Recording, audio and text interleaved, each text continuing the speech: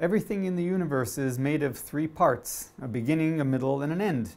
Well, so they say. Take a laser power meter, for example. It consists of three parts. 1. Sensor, the transducer that receives the laser beam and produces some type of electrical signal that represents the beam's power, or energy, or whatever parameters we're measuring. We'll just keep using the word power.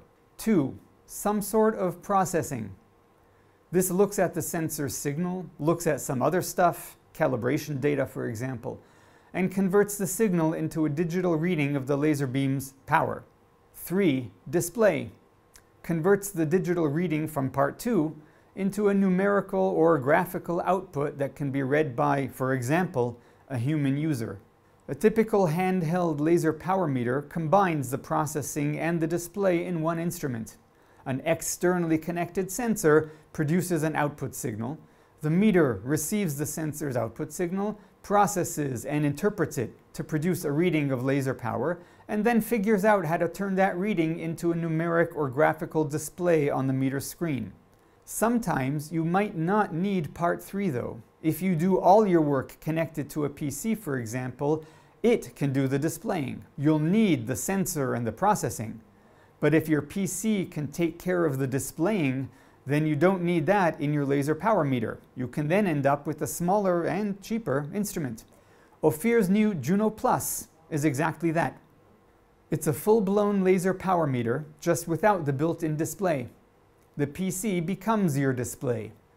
You'll either have the PC running Ophir's StarLab software application, or maybe you'll communicate with the Juno Plus from your own software system via our COM object interface. Either way, you've got a precision instrument with almost zero footprint. It's just slightly larger than the sensor's smart connector. And all your interaction with it is via your PC. The Juno Plus is plug and play with all standard Ophir smart sensors. It's powered from USB, so it needs no external power supply.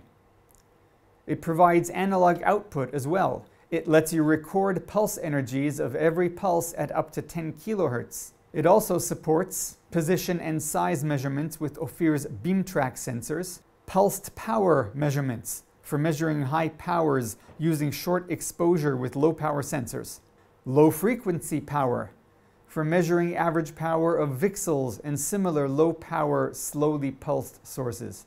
To learn more, contact Ophir directly or via your local Ophir representative or visit our website.